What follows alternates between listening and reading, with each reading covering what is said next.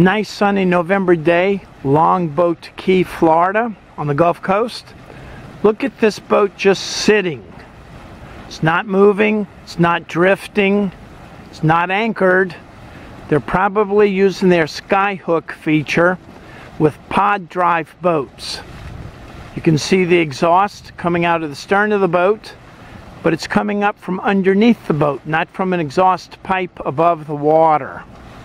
You can see the helmsman sat down. The boat wiggled a little bit. He may put it in gear and drive away. Yep.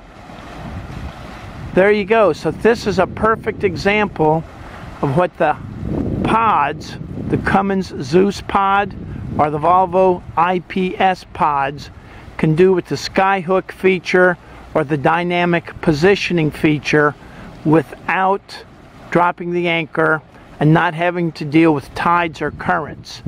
The GPS satellite antennas, note there's two antennas and the pods will keep you in position. If you want to learn more about pods or more about boat operations, ask Captain Chris.